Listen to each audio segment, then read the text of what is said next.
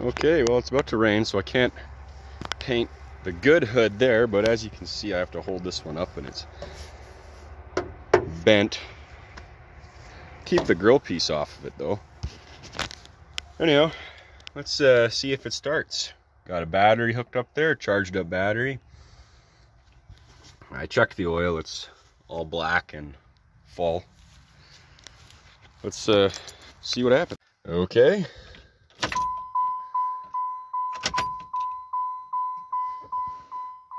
That's good. Oh.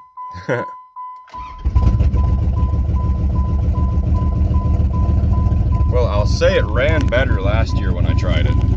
Oh no, there we go. Starting to sound good again. That was only a tiny bit of gas in there though.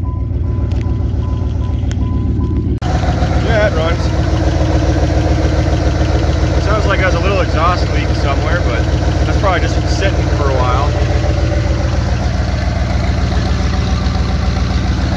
Right on.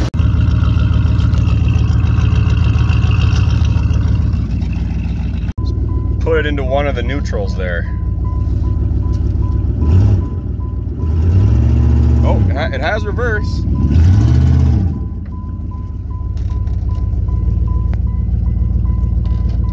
See if it has a first. It actually what the hell? Okay, so uh, maybe the transmission isn't in as bad a shape as I thought. Um, that's interesting. What should I do next? Maybe I should paint the hood there. Yeah, probably. I don't have that much time tonight, but uh, probably get this one painted up this weekend for sure and swapped on there. And uh, that's that's gonna be a problem for me, I think. Okay, I got fender flares actually as well. I'm gonna see if they can fit on here. They're for a Chevy.